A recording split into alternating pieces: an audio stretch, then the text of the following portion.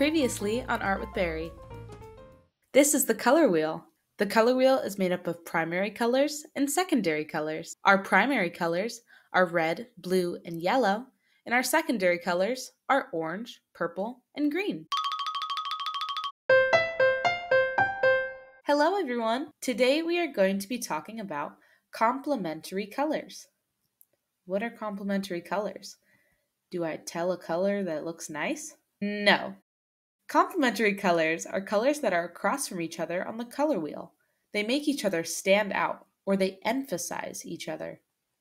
As we can see on our color wheel, there are colors across from each other. These are complementary colors. Let's look closely at our color wheel. These arrows are showing us that yellow and purple are across from each other on the color wheel. They are not next to each other, they are across from each other. So yellow and purple are complementary colors. These arrows are showing us that red and green are across from each other. So that means that red and green are complementary colors. These arrows are showing us that blue and orange are across from each other on the color wheel. This means that blue and orange are complementary colors. These are all the complementary colors that we can see on our color wheel. Complementary colors are two colors that make each other stand out or pop in pictures or in art. Complementary colors go well together and they make each other look nice, but that doesn't mean that they have to be your favorite. Now that we know how to tell a color's complementary color by looking at a color wheel, I'm going to test you. When I show you a color, you're going to tell me what the complementary color would be. Let's try it out. What color is this? It's purple. What would purple's complementary color be?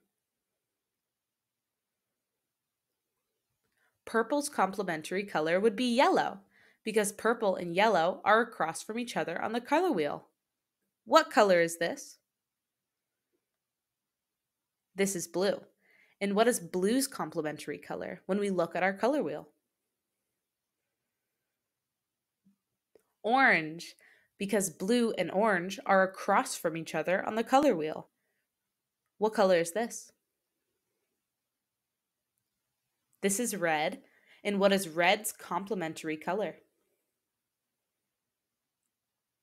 Red's complementary color is green because red and green are across from each other on our color wheel.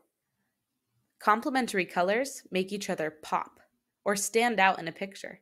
Even when the colors are darker or lighter, they still have similar complementary colors. Now we know that complementary colors are across from each other on the color wheel. You should feel so proud of yourself, and I'll see you next time.